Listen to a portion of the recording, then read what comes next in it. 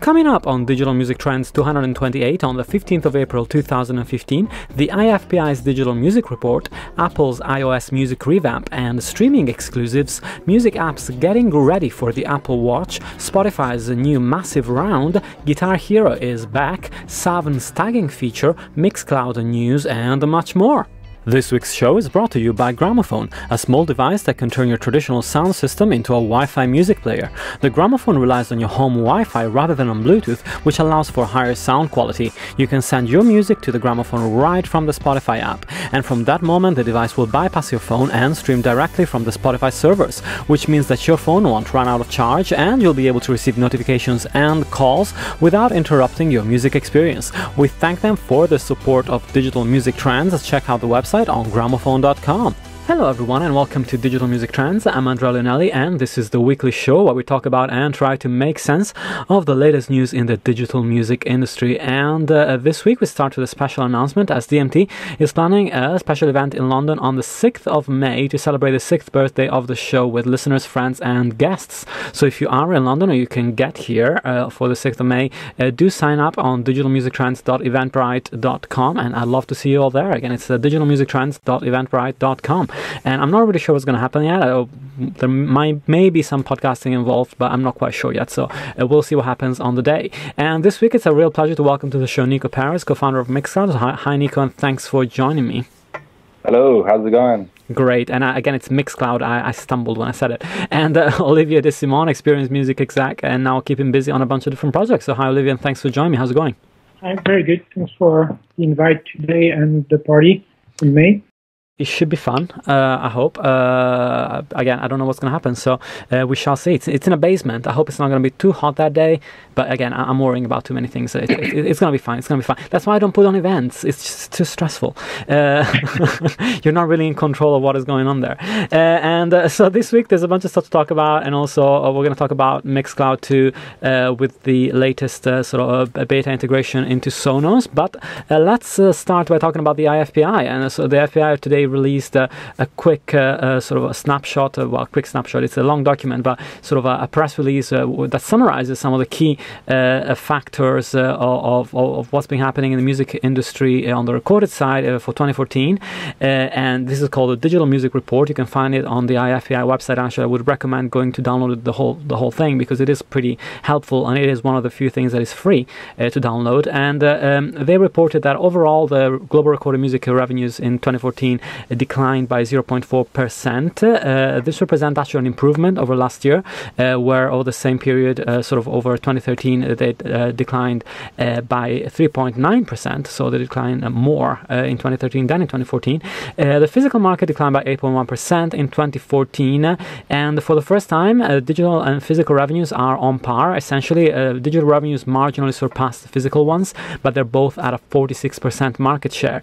And a big story, obviously, subscription services continue the growth, although it's slower than uh, in the previous reports. Uh, it's gone from 51% growth in 2013 to 39 growth in 2014, 39%. And uh, so a, a, bunch of different figures to talk about here. Uh, but interesting to see that uh, you know uh, physical continues to decline, but things are, are sort of settling down. Uh, Olivier, what do you make of uh, some of these figures? Obviously, uh, there was a lot of concern uh, over the 2014 figures from North America and Europe because we'd, we'd seen a, a, a steeper decline than we thought in download sales and uh, streaming revenues were making up for that. So, do you think that the fact that we're sort of in a flat situation is, is a good thing right now? Well, I think you know, like looking overall to the market right now, like um, it's funny that you're saying like uh, it's it's less declining than the year before, etc. I think like from next year we're going to see really again like the the, the industry growing, um, and of course physical is declining and downloads are declining. Um, this is all normal. Like what gets me really excited is to see that uh, we're going to see revenue and probably huge revenue coming in the future through markets that have been um, not important in the past. And if you look at countries like Brazil, uh, South America, overall, it's hundreds of millions of uh, possible consumers uh, that will suddenly become important to the industry. Yeah, absolutely. So I, I think it's it's the biggest. Uh, it's it's what uh, I, I, try to be positive, and we have been seeing things being uh, so bad in a way for, for many years. And, and now we, we see really a new market opportunity uh, becoming ma- mature uh, with services also that can scale and, and really get fast into those markets. Yeah, absolutely. And, and the report uh, highlighted the fact that uh, South America, as you said, uh, saw the biggest gains uh, uh, with a 7.3% increase uh, overall, which is the biggest one around the world. the biggest decline actually was in Asia, which was a 3.6% decline, which is kind of surprising for me. I didn't expect that to happen there. Nico, for, from your side, how do you feel about these numbers? Do you think that sort of this second dip, which is caused by the sort of transition to streaming, is less perhaps damaging that people thought it might, might have been before? Yeah, I think that from what I've heard, um, you know, downloads have decreased a little bit faster than people were expecting. Um, but I think that the positive note here is that people have started to embrace streaming as a future and recognizing it, that it's the most important thing going forward and that it's really something that we all need to get behind and focus on and help to, to continue to grow and to prosper. Yeah, absolutely. Uh, so I, I, in my personal opinion, I do think that we've kind of reached the bottom of the curve and that things are looking much more optimistic from here. Yeah, yeah, and, and, obviously, you know, streaming is a big story here, and uh, uh, you know, it's a big story for Apple as well. So there's a couple of stories to talk about there uh, from the past seven days. So first of all, Apple uh, released the, the uh, beta version of its iOS 8.4 software, which supports a brand new music uh, app and a brand new design for that interface. no real new functionality or impor- important new functionality, and obviously no glimpses as to the streaming offering yet, but it's seems like this new music app really shows us the direction that Apple is taking in uh, in how that uh, uh, uh subscription app is going to evolve when it's released possibly in June, July of, of this year. Uh, so the interesting thing here is that uh, uh, there, there's a lot of things around playlisting. So uh, people now can add their own artwork, uh, actually a description of playlists, which could actually come really handy uh, in for the for the new service. they've introduced a new mini player, which kind of echoes what's been happening on the Mac app for iTunes. high-res artwork, you know, making the pages for artists more appetizing to a certain degree. So a lot of things that are portable to the new service. And Nico, do you think that this is sort of like a, a a way for them to evolve the, the app uh, and eventually this will merge into the service? Because one of my, my theories was like it would make sense for them to actually integrate the service into the music app so that if you subscribed you would have all of the music like of the world into the app essentially was before you had your own music. But on the other hand it might also make sense for them to have a separate app. W- what do you think about that? Um, I think personally it'd be great if it was all in the same app because the user experience I feel would be a bit better. Yeah. Uh, and Spotify have managed to do that relatively well. With you know you have your own library and then you can have access to all of their catalog. Um, and you know from a personal note, again, I'm incredibly frustrated with the the, the current um, uh, music app on, iOS. It keeps uh, it's very buggy for me. It keeps not syncing some of my songs. Um, it's very really bad experience. So I'm really looking forward to to the revamped version. And I'm also really excited to see um, how Zane Lowe plays a part in in, in this whole story. Uh, yeah. Obviously, he's kind of it was announced that he moved is, or is move, in the process of moving to Apple, uh, and uh, I think that's uh, you know a big um, you know uh, uptick for uh, curators and radio presenters and DJs. So I think that's that's going to be interesting to see what happens there. And it's great to hear that you're frustrated with the app because it means that you're still using it. Uh, I I haven't used the sync in uh, on my iPhone for uh, maybe four years, and I've synced some stuff over via Spotify, but that didn't work very well. The tracks kept d- disappearing, and it wasn't the the best experience really. Uh, I had some podcasts uh, for my uh, lectures that I wanted to sync up, but yeah, it didn't work very well. Olivier, on, on, your front, what do you think about this this new interface? Is there anything in particular that, that caught your caught your eye as far as the the evolution is concerned? Well, I think it's it's small improvements and, and some many like uh, user experience and and probably like uh, a little bit of uh, buzz. Yeah. You're gonna hear every every week something new.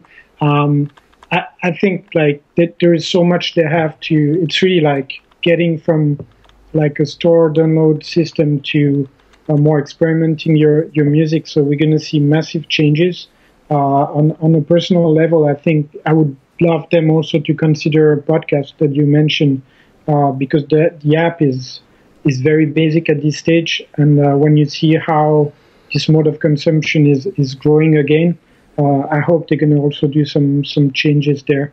Yeah, uh, yeah, that, that would be great actually. And uh, I mean, in, in, to a certain extent, it's a shame that I feel like it's a shame that it was separated to begin with, just because it does feel like it means that podcasts will always be that sort of offshoot that will never be integrated as part of the ecosystem. But at the same time, I understand why that happened and sort of the history behind it. Uh, but uh, you know, the other thing that uh, happened this week was that uh, there were some rumors around which artists Apple might be talking to in regards to the new streaming service that's coming up. So uh, this is a very strong debate at the moment because we've seen Tidal, uh, you know, really make that the cornerstone of the strategy. We've seen, uh, you know, Spotify do partnership with artists as well. We've seen all sorts of different services try and get exclusives in order to promote their service or to get users uh, on, on, the service. And, and some are saying that this is a great strategy that is going to pull in consumers. On the other hand, some people say that this is going to kill uh, releases because you know if if every single artist makes an exclusive deal with a different platform, then it means that none of them have a complete catalog, and then that becomes problematic in itself. Uh, as far as, and the debate, you know, is kind of enc- encompasses uh, the actual role of exclusives. Are, are, they important? How do people react to them? And, and uh, Nico, on your on your end, I guess you, you guys have done some uh, not exclusive releases, I guess, but a lot of exclusive collaborations with artists uh, uh, and DJs. So how have have your users taken to those collaborations? You know, is there a buzz that builds when there is an exclusive? What are the positive effects of, of that kind of thing? Yeah, I mean, in the past we've done a few exclusive deals with DJs and radio presenters around some of the shows and mixes that they've done. But in most of cases, you know, people are free and open to, to host their show or their mix in other places. Yeah. Um, for me, I, am personally a little bit worried about this. That it's going to lead to a lot of fragmentation between the different services, and as a consumer, that's going to be a bad experience.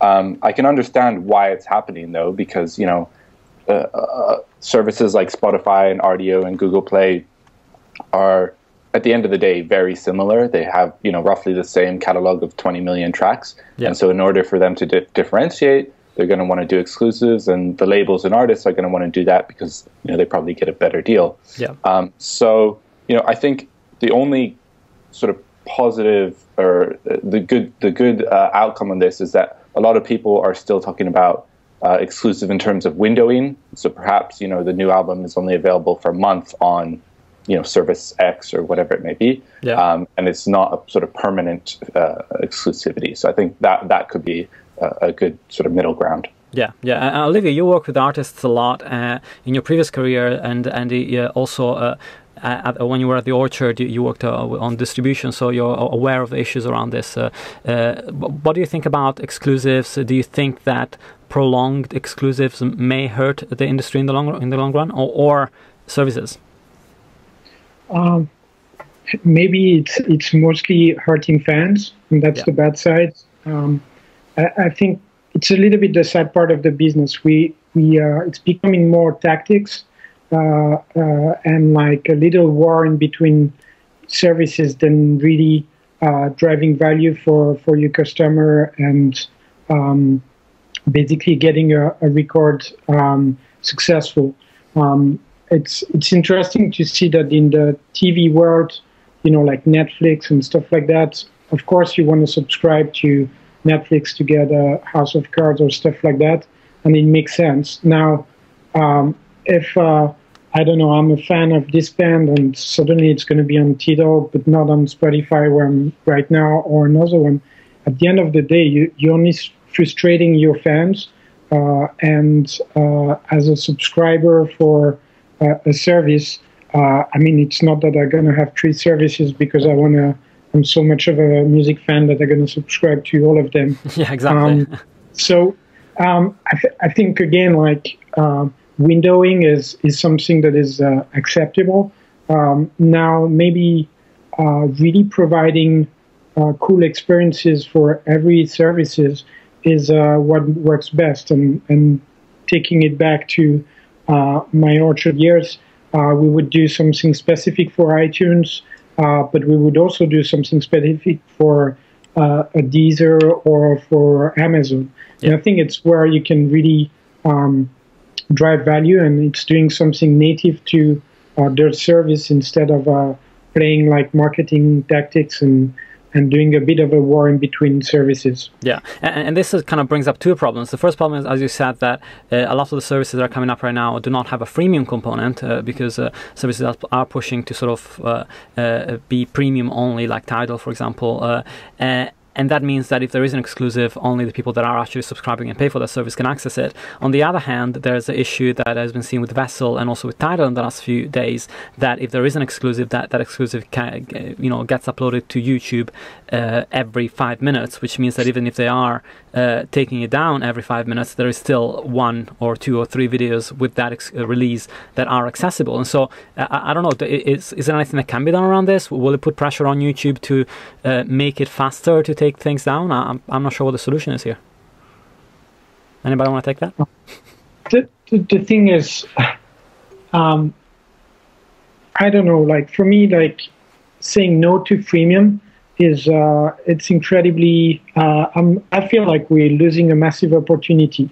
Um, and maybe the problem today of freemium is not freemium. It's actually more that the free offering has been lacking of focus or uh, innovation in in uh, advertising formats. Yeah. Um, and if you think about the granularity of uh, music from a band, etc., uh, the value of the audiences uh, those artists have, and, and um, etc. Like this is huge for advertising. And saying no to this now is sounds like incredibly sad. And um, I understand why. Uh, if it's saying no to freemium now because we want to have more value through free and advertising, then yes, it's a uh, it's a good thing. Now, if it's saying like everyone gonna have to pay from tomorrow, uh, I think we're gonna see uh, uh, underground services uh, being there. It could be YouTube or it could be SoundCloud. It could be you know many more. Um, uh, offerings, and uh, um, I, I think we're just like it's a, it's the wrong debate. Yeah. Um, for me, like we are we are already like uh, uh, fans of, uh, of uh, Spotify, Deezer, and so on, and we subscribed. Now the younger generation, um, you need to come up with something and, and saying like, come in this beautiful world garden yeah. and pay me something. It's it's tough. So I don't know. I feel like there is a, a big trend right now to say no to freemium, uh, but the reality is that there is a massive opportunity to to be worked there. Yeah, absolutely. Talking about ad-supported services, Nico, let, us talk about Mixcloud a little bit. So, uh, what, what's been happening with the company? You've been in the States now for a, a year-ish, around. So, how's it, how's it going over there? And then, uh, sort of, what's been happening with Sonos? Obviously, a, a big announcement of the finally a, a beta integration into the Sonos system. Yeah. Um, so, you know, I moved here about 14 months ago, uh, and it's been an incredible time here in New York City. Uh, I've been working a lot on sort of g- general business development and sort of raising our profile in America. Um, you know, um, I was looking at the numbers just before the call, and we've doubled. Um, our user numbers here in America in the last 18 months. Awesome. So it's going really well. Um, I think a lot of it, you know, has to do with electronic music becoming so popular in the states and a lot of people kind of embracing it so we're kind of benefiting a, a lot from that um, you know just to touch on the point about advertising you know mo- most of our uh, revenue comes from from brands and through advertising yeah. and yeah i completely agree we're ver- we're very much um, you know in favor of new formats uh, doing more exciting things with brands branded content and really kind of adding value to the experience so that brands, you know, could curate DJ mixes or radio stations or whatever it may be, and that's actually much more interesting than you know a simple banner ad or a pre-roll video. Yeah, yeah. Um, in terms of uh, Sonos, uh, yeah, as you mentioned, uh, we've just we've just launched the beta with them uh, last week. So if you're interested to try that out and a Sonos user, you can go to mixcloud.com forward slash Sonos. Uh, it's beta, so there may be one or two little bugs uh, but we're uh, hoping to officially launch it uh, within about a month or so.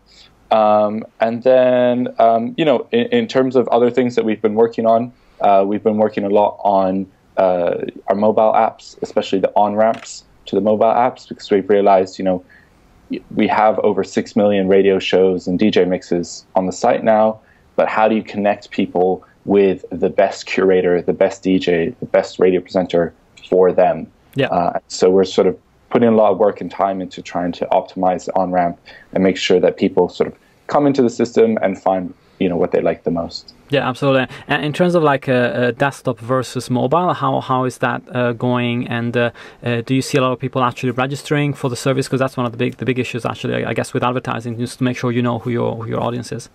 Absolutely, yeah. In terms of desktop versus mobile, um, mobile is growing incredibly fast. Uh, it just passed 50% in the US wow. and some of our other uh, leading markets. And I think that you know if you look at our peer services uh, I think within a year or two, it's going to be up there at 70, even 80%. Um, so, yeah, that's really exciting for us. And I think ultimately, you know, with the power of smartphones becoming uh, increasingly, um, you know, easy to, easy to use and easy to have in your pockets, and networks becoming even better and better, you know, that that that trend's only going to continue. Awesome, and uh, obviously Mixcloud also has a pro service. Uh, uh, so if people want to check it out uh, and uh, they, they do not want the advertising, then they can go and, and subscribe as well uh, to the to the monthly service, which is great. And so moving on, I wanted to talk about uh, Spotify's uh, new round, I guess. Uh, that's that's one of the, the items of news that came up this week. Uh, 400 million to rule them all to a certain extent. and it's it's a big big round Uh, that would value the company at over eight billion. Uh, definitely the, the highest, you know, the valuation for a music streaming service uh, that we know of to date. one of the highest valuations for any startup that is out there at the moment worldwide. So a big deal the the question is: Is this uh, the last round before the IPO? Which uh, you know I, I, was assuming it would be, but uh, you never know in this market. And, and, also, you know, what do you think they can do with this money? Like Olivier, do, do you think that there is anything that they haven't managed to do right now that a, fresh injection of cash would enable them to do now?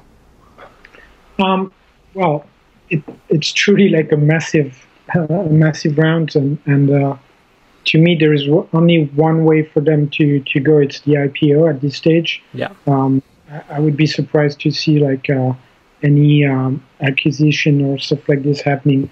Uh, now, why why now and uh, why how much?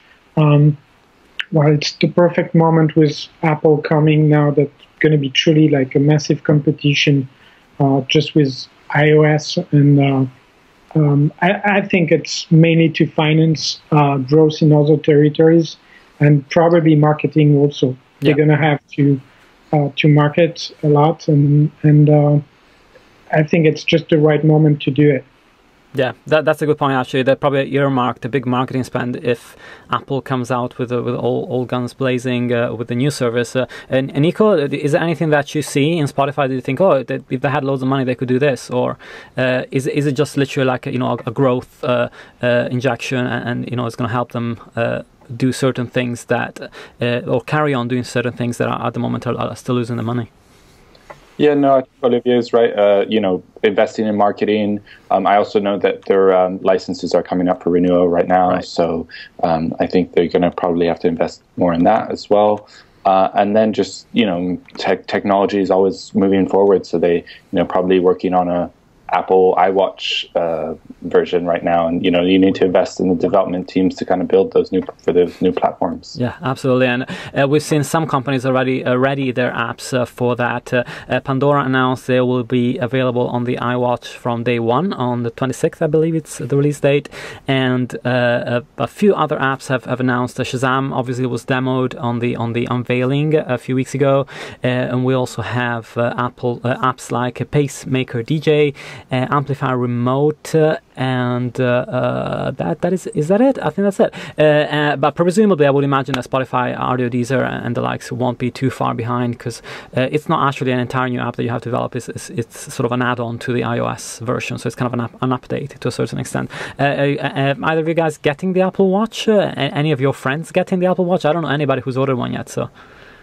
Um, so I never got a watch. I, maybe Swiss, but uh, I have no watch. Uh, and at this stage, uh, um, I, it's funny. Like uh, I was reading something about um, Runkeeper uh, the, the, other day, and um, one of the things I was excited for the watch was like, oh, maybe when you go for a run, you only have to watch, etc.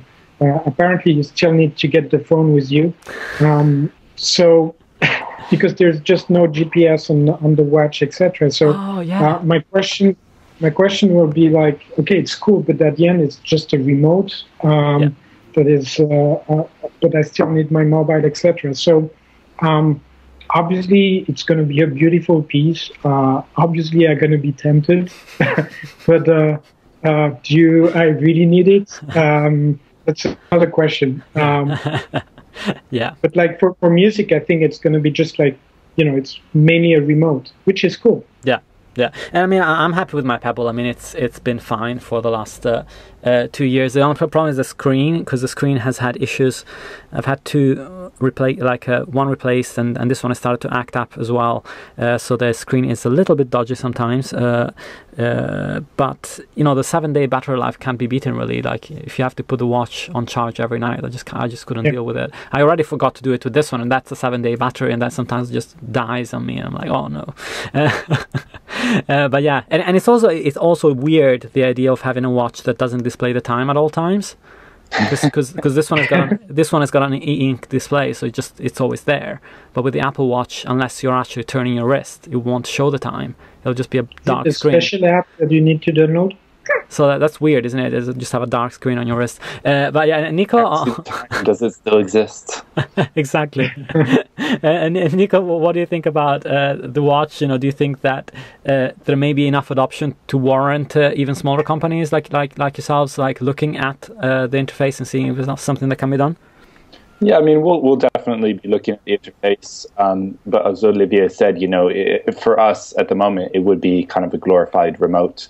Um, uh, you know, I, I, I, I, I would like to see how it how it actually feels on your hand. For me, there's very much a physicality element of you know what does it actually feel like? Is it clunky? Is it big? Yeah. Um, and, and you know, historically, you know, if you look at the iPhone version one, that was quite big and clunky, but you know, it got better quite quite quickly. So uh, Yeah. I'm going to be probably waiting for version two or three. Yeah, I've always waited for version two. I got the iPhone 3G, I got the iPad 2. Uh, so yeah, I think the wise choice is to wait if you can. And uh, if anything, get a Pebble. Pebble is like the, the old ones are like seventy bucks or something. So if you want to tie, if you want to like tie yourself over for for a year until the, the new one comes out, you can get one of these, uh, and they're really nice. Uh, I, I was very good at resisting uh, uh, the uh, the new Pebble Kickstarter, but I was kind of uh, again because I had a dodgy screen on my first one. I was kind of thinking maybe I shouldn't get the first ones that are being released and wait a little bit in the cycle before that happens. And uh, uh, another streaming streaming service story actually coming internationally from India, and uh, Savna had caught my eye just because they released a major update to their app, and one of the features that they introduced was something that I haven't seen in other apps before uh, on on the music front, which is tagging. So it's such a simple thing that happens in photos all the time, but just the simple idea of like tagging people to the music that you're listening to and to start a conversation through that. It's sort of like a a mixture of Facebook with a messaging app, but it's more it's it's a quicker way essentially to saying, oh, I think this person would like this. I'll just tag them to the song, and then they can comment on it if they like it. Uh, but what do you reckon? You know, an interesting new feature. Is there more space for services to experiment with some stuff that hasn't been seen on apps before? Uh, uh, Olivier? Um, so obviously I didn't didn't get the chance Oh, to, sure, to yeah, yeah. try it. Yeah. Um, No, of course. Yeah, me but, uh, neither. Me neither.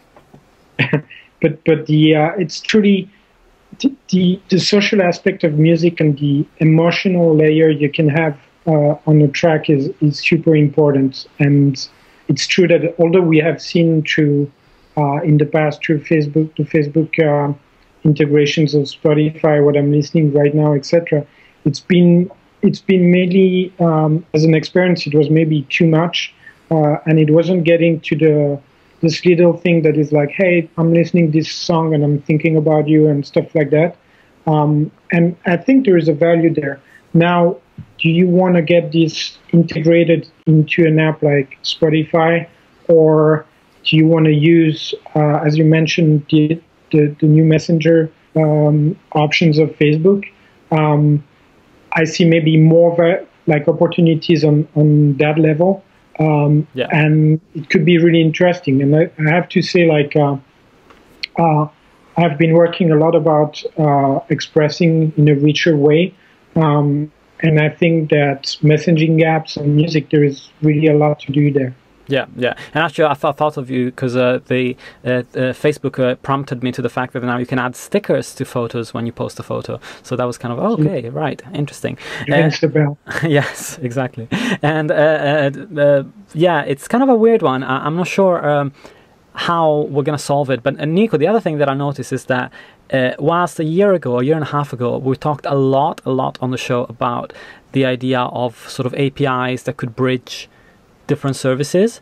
It seems like it's something that has really died down as far as uh, you know The, services that I can see, uh, at least around me, are concerned. Uh, you know, the Tomahawk is still around. Obviously, they do great stuff, but I haven't seen anybody else come up and do similar things that can sort of integrate different services into one. So, do you think that this is due to competition? Is it just because people don't care, or are we going to see this come up again?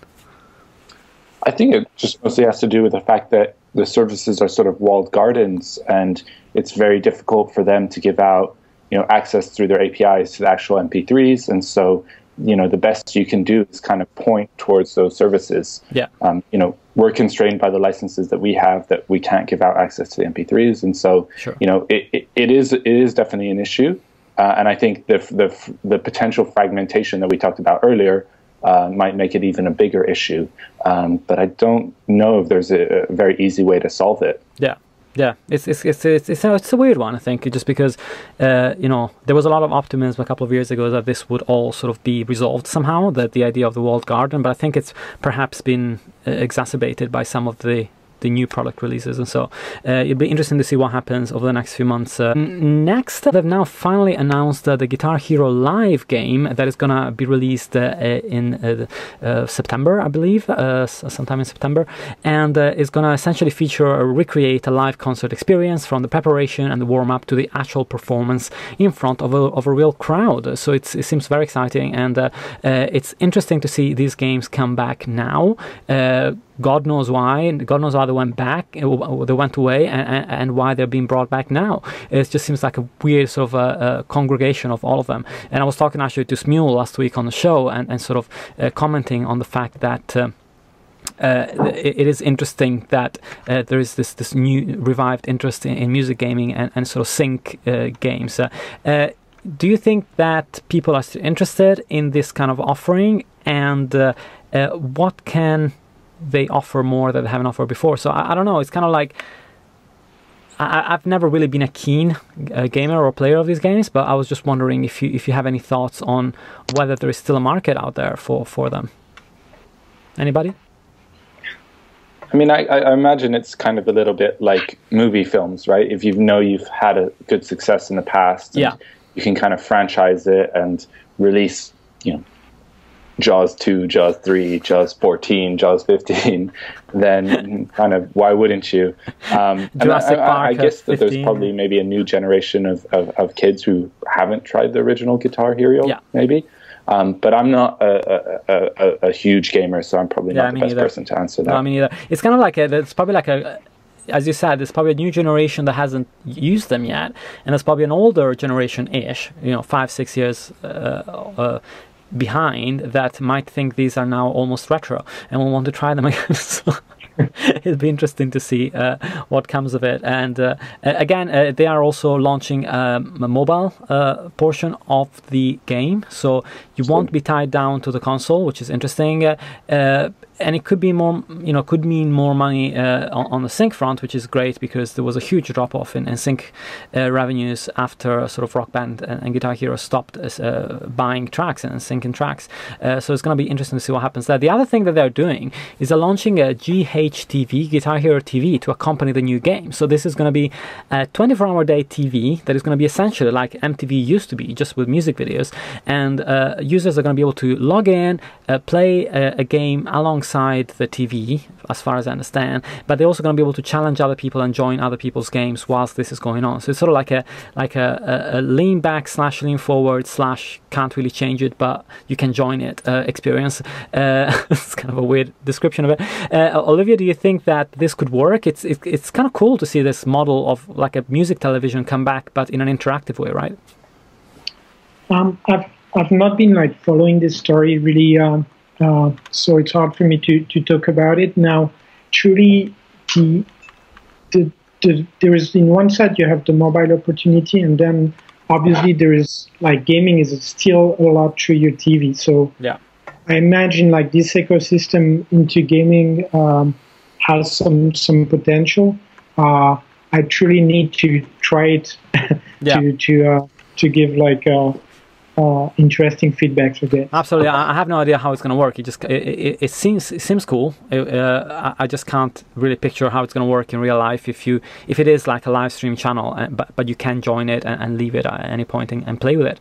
Uh, I it kind of like the idea of like having a virtual band where you know Yeah. the drummer's in Iceland, the uh, the guitarist is in Thailand, and you know you may be playing from Italy or something like that. Yeah. I think that's cool. I think the challenge will be latency because you know even now just on a Skype call, it's it, you just there's half a second of latency is enough to throw everything. Yeah, yeah, absolutely, and that's why I have this really complicated setup here with a, uh, a huge mixing desk, and everybody gets their own headphone mix, so you don't hear yourself and all that kind of stuff. Uh, yeah. it's it is it's not easy to solve that problem. There's a lot of companies that are trying. Uh, I keep he- talking to companies that are doing sort of music collaboration apps that are trying to solve that uh, latency issue uh, with video conferencing, uh, but it's very very tricky uh, because essentially they have to compensate for you can't eliminate the latency entirely, so you have to create ways by which your apps can perceive the latency and compensate for it automatically, which is not easy. Uh, and, and you can see with Skype sometimes. Skype, you, you're on a call, and if something will happen to, to the to the connection, and then you will hear the fast forwarded version of what a person said, and then it will start again in the normal pace. And so that's kind of like how Skype tries to catch up to what's been going on and what, what all the packets that it lost in the meantime. But uh, yeah, it's it's a, it's an interesting one. And uh, finally, uh, oh, there's a couple more things. So one thing is the vinyl chart. So very exciting. The fact that uh, whilst you know a few years ago, uh, if you'd asked me, uh, I would have said you know oh vinyl is, is you know it's a hipster fad. It's it's you know it's going to work for for a little while, but it's going to go away. Well, vinyl is in its uh, sort of seventh uh, uh, straight year of, of massive growth. It grew another 69% in the first quarter of 2015 over 2014, uh, uh, first quarter again same period. So massive increase in sales. It's not huge, you know. We're talking about one 1.29 millions of units shifted. Uh, in the UK. It's substantial though. It's it's uh, it's, it's a big economy for some of the independent labels, especially that rely on on vinyl uh, um, primarily. And uh, so the the UK official charts company has announced a new vinyl chart, uh, which will cover both singles and albums. It'll be a top 40, and it will essentially allow some of the bands that might do well on vinyl but may not sell enough to actually get in the normal chart to gain some visibility. So this is exciting because it feels like I was looking at top 40 chart, uh, both in the singles and albums side, and it feels like almost none of the people that are in it are actually in the mainstream top 40, uh, uh, which is a new thing. Like you know, you don't often see a brand new chart that really highlights the independent sector so much. Olivier, as somebody that works for an independent distributor, do you think that's a good thing? And and how will will this change also band strategies? You know, if they know they can get to a number one spot on a vinyl chart will they aim to, to sell more vinyl in order to place higher on a chart if they know that they can't chart on, on the normal one? Yeah, it's it's a good point, and and uh, obviously being first in the charts is always a kind of a, a dream, yeah. and it has a real impact in, in, in perception. So definitely, I think we're going to see this, and, and looking at the the charts right now, like it's it's interesting to see that it's completely different uh, bands and albums being uh, in in the charts. Um, now, in terms of the market opportunity, it it remains like I, I'll call this like a beautiful niche, uh, and I don't think we're going to see like this growing for, you know, it, it's going to grow no doubt, but like this becoming like the main revenue in the future. uh, I don't think so. right. But but it's it's uh it it makes so much sense to if you're like fan of uh, a band like buying this uh, great product that is super nice and it's really a premium experience. Yeah, yeah, yeah. Uh, and uh, Nico, do you collect vinyl? I guess you probably, if you do, you probably weren't weren't able to take them to New York. But uh, or how do you feel about this phenomenon? And do you think it, it, uh, is there a chart of for vinyl in the U.S. Actually, I don't know. Um, you know, I'm I'm a big vinyl fan. I kind of grew up with vinyl. I'm a DJ, so vinyl very has a special place in my heart. Yeah. Um, what I thought was interesting about this chart is that uh, you know if you look at the, the, the bands and the, and the acts that are in it, it's mostly rock, indie rock. Yeah. Actually, some old artists like Bob Dylan are in there as well. Um, so th- I think that there's maybe kind of a resurgence in that in that scene of, of vinyl, uh, and I think it's kind of testament to the fact that um, you know sometimes people like the physicality of things. Yeah. For example, I actually prefer to read a book in its physical paper format than than on a Kindle or a digital version. So. I think it's it, yeah, like Olivier said, it's not going to be a huge market driver, Yeah. um, but it, I, I, I think that you know it's it's there to stay, and that people still do appreciate being able to hold something in your hands, and it, it's a, it's a it's a different experience at Yeah. the end of the day. Yeah, and uh, there is a US chart on Billboard for vinyl, but it, it is a premium chart, so you have to pay for it, you know, uh, for Billboard in order to access it. Uh, it's not part of the free offering, obviously. It's it's more specialized, and yeah, I mean. It, uh, again, like uh, you uh, picked, a, picked a good point uh, talking about genres because obviously I, I would imagine the albums chart is going to be much more indie and rock skewed, and the singles chart is going to be more dance music skewed, and so uh, that's also going to be interesting to see how it exposes two independent part portion of the industry, but in, into different genres depending on, on the format that is that has been chosen as well. Uh, so yeah, no, we'll, we'll keep an eye on it and see how how it, it affects uh, uh, perhaps uh, marketing campaigns and, and all that kind of thing in the next few months. I'm sure people are already working on it right now. And finally, Universal Music Group has agreed to settle uh, a lawsuit that had been going on with a bunch of artists. It was kind of like a class action type thing, um, although I'm not sure if it had a classification of a class action, but it was definitely a, a sort of a, a lawsuit from a bunch of artists, including Rick James, Chuck D, and Public Enemy, and they managed to uh, get 11.5 million dollars out of UMG uh, for the issue of classification of digital downloads. We talked about this on the show uh, before, I'm sure, uh, from, although a while ago, uh, and you know, digital downloads uh, in the contracts that were signed sort of between the 90s and the early 2000s uh, were a bit of a murky domain in that artists hold that uh, they uh, should have been classed as syncs essentially as licenses uh, in which case they would have gotten 50% of the of the income that the label made on on those. Uh, whilst the labels uh, uh, held that they are normal sales as if they were selling a CD in which case they would only owe the artist 10 to 15% of royalties.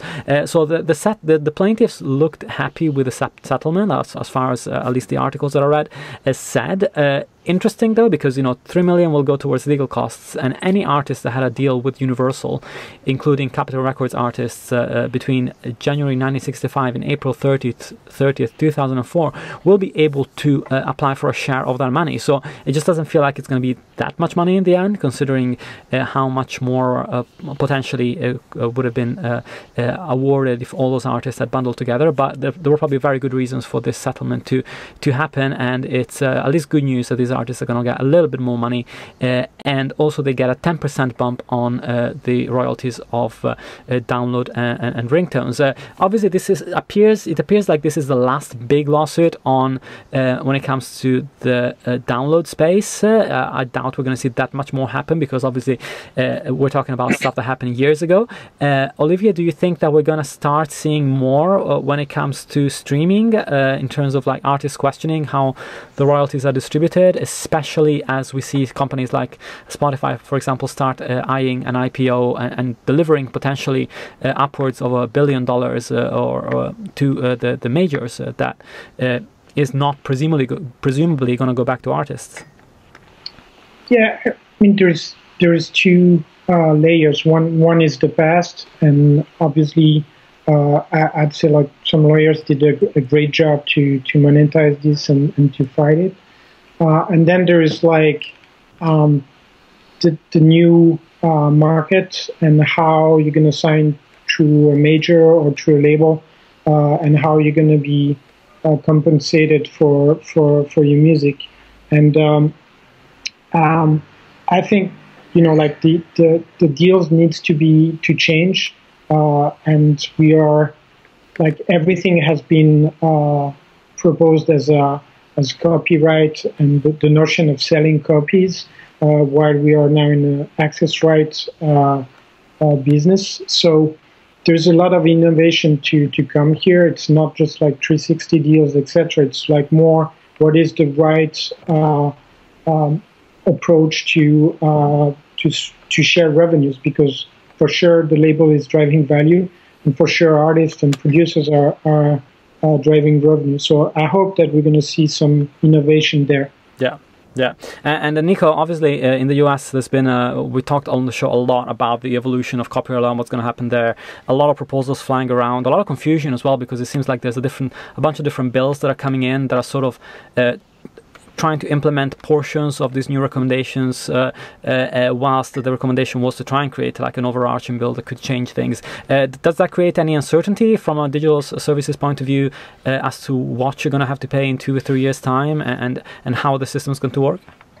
Yeah, absolutely. You know, it's it's it's difficult for us to be able to forecast when there's all these uncertainties uh, around the licensing side of things. And you know, the big one coming up is the Webcaster Four agreement that should be out sort of later this year in December. Um, but I think you know what to, to, again sort of strike on a positive note. I think what's great about the, the sort of digital future of streaming is that there is this opportunity to be incredibly transparent, yeah. to track everything, and to pay out uh, in a very transparent manner.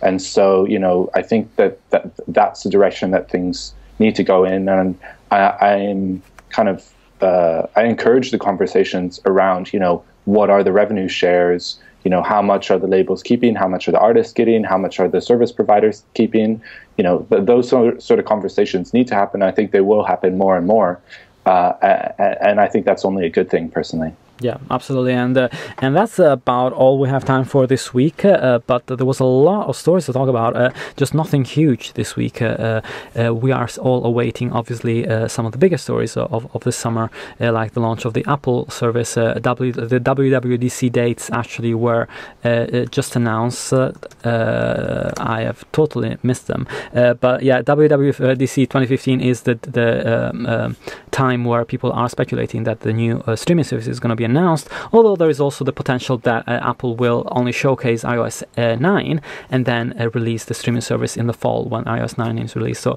there's really uh, no way of knowing this uh, uh, at this stage. And once again, if you are in London on the 6th of May, do sign up for DMT's sort of drinks thing meetup. you can find it on digitalmusictrends.eventbrite.com. And guys, once again, thank you so much for Nico. It is uh, Mixcloud uh, and you can find everything on the site uh, and follow what they're doing. And uh, for Olivier, you can follow him on Twitter on at uh, Olides, and I'm sure if you do come down on the sixth, you might meet him there as well. and thank you so much both for your time today. Thanks a lot. And Thank thanks you. for listening to DMT. Uh, it comes out every week. You can find it on digitalmusictrends.com. And uh, uh, thanks so much for listening. Have a fantastic week. And until next time.